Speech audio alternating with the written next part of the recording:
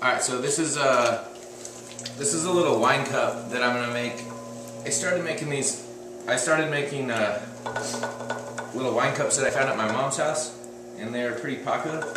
And then I found that I could kind of make the same shape but facet it a little bit and give it a little more interest. So this is a faceted wine cup.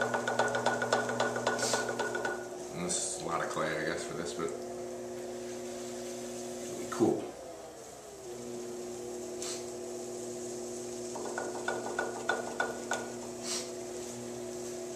Goodbye sponge.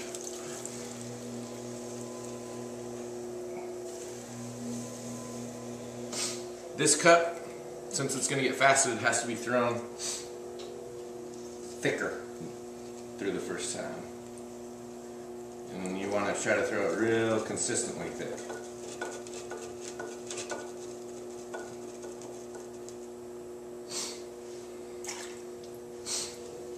Let's make sure it's all the same. Clean up the side right here. Just use this Bill Van Gilder stick tool.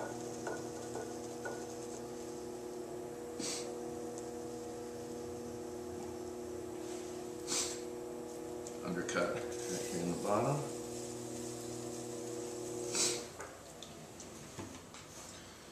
And then I was going with, uh, I've been going with like two. Um, just try to go right here so you can kind of see this happen. Basically, just gonna cut.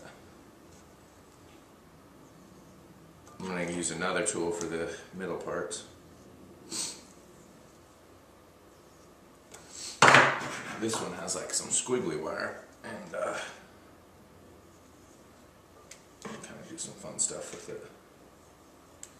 It works better if it's uh, on the other side of me.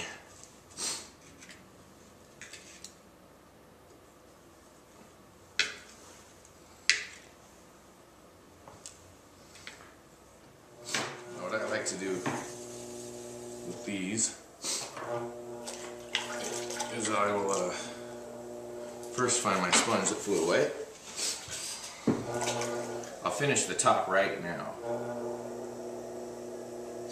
Now I go in, um, it's kind of wet inside, and I can't touch the outside because it has, I don't know, it has the facets, so I don't want to ruin those. And I'll just go in and give it its shape. I kind of stare at the edge.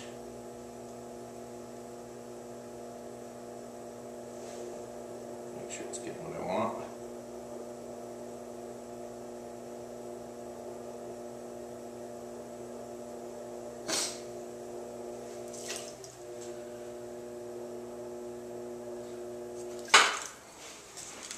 And then that's the idea of the wine cup. I mean, you could bow it out more, do whatever, but has a pretty good feel for your hand.